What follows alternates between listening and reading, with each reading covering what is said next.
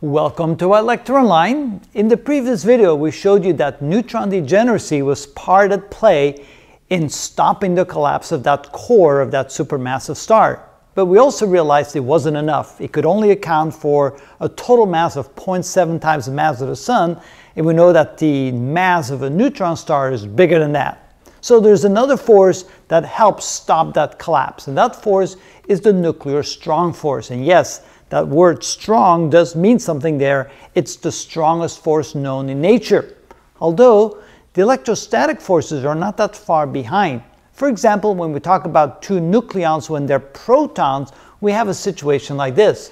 When you try to bring two protons closer together, the, the uh, repulsive forces caused by the Coulomb forces, the repulsive forces between like charges, push back very, very strongly. So it's very difficult to bring two protons close together.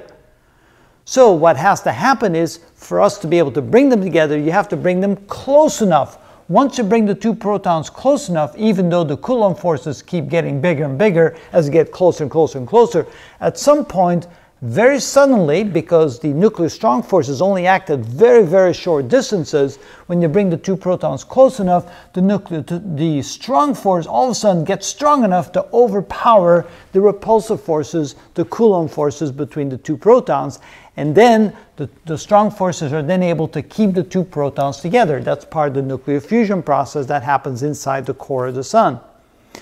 If we're dealing with two neutrons, we don't have any repulsive forces because they don't have any charges. And so therefore the nuclear strong force becomes very powerful when they get very close. Then you say, well, wait a minute, didn't you just tell me that the nuclear strong force is, re is responsible for stopping the collapse, but doesn't the nuclear strong force pull them closer together? Well, yes, up to a certain point. But then if we take a look at this chart, this explains things even better. Because this curve right here is a curve representing the potential energy between two nucleons when they come close together. Notice that the lower the potential energy, the more likely they are to come together. Potential energy, of course, is like when you take an object and you push it higher up uh, away from the Earth, then you lower the potential energy. A, an object will, when you bring it closer to the Earth, increases the potential energy. So objects want to be where the potential energy is the lowest. And so things tend to fall towards the Earth. Well, ob objects such as nucleons, protons and neutrons want to be at the lowest point possible. That's where the attractive forces the nuclear, the nuclear strong force are the largest. So these are the, this is where the attractive force is the greatest of the nuclear strong force. So what happens is it gets to this point, then when you bring them even close together, the nuclear strong force forces aren't quite as strong. They get weaker and weaker and weaker, and when we get to a certain point, they begin to repel. So the nuclear strong force does both attract and repel as the objects get too close together.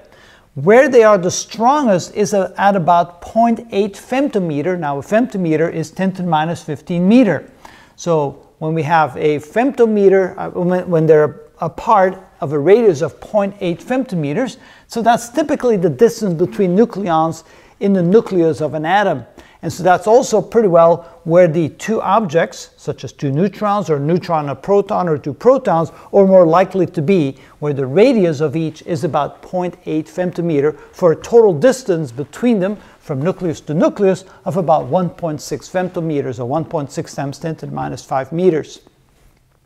So then when you try to push them closer together, the attractive forces become weaker and weaker and weaker, and eventually, instead of attractive forces, they become repulsive forces, and it's that part where the nuclear strong force comes in. So as the two objects get closer and closer together, or in the case of the the, the, core of a massive, supermassive uh, star, as the core collapses and all the neutrons and protons are smashed together, eventually when they get too close, they begin to repel. repel.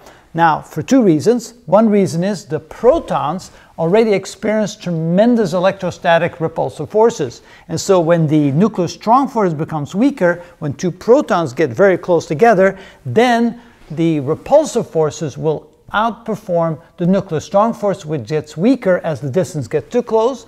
And secondly, when two neutrons are smashed together too close and they reach distance such that the total distance between is 1.1 femtometers, then the neutrons will get repelled as well by the nuclear strong force. And that is the force that prevents the core of that supermassive star to collapse any further. And that's where the bounce back comes from, the initial bounce back. And then the neutron star settles in at a radius or a dis or I should say diameter of about 20 kilometers or about 12 miles. So that is the combination. First of all, we have the neutron degeneracy force and secondly, we have the nuclear strong force. Once you try to push the neutrons too close together, that pushes back as well, and that's what keeps the star from collapsing or the core of the star from collapsing any further. Now, when the mass exceeds about three times the mass of the sun, these forces cannot withstand the enormous pressure created by the collapse of the core and will go beyond it being a neutron star. It'll then turn into a black hole. But of course, that's a whole other series coming up on videos later on. But so this is the ultimate limit. The limit we believe is about 2.5 times the mass of the sun. If the neutron star doesn't have, the core of the neutron star doesn't have enough mass to overpower this nuclear strong force, well, then it'll start, it'll bounce back and become a neutron star about 20 kilometers across. And that's the reason why the nuclear strong force halts the collapse as well as being held by the neutron degeneracy. And that's why it happens. Where does the strong force come from to push the protons together or the neutrons? If you figure that one out, you get a Nobel Prize for sure. Hey. it's one of those it's one of the four fundamental forces that exists. We can measure it. What causes it? It's just it's hard to know. So it's just out there? you know i think it has something to do with the forces between the quarks.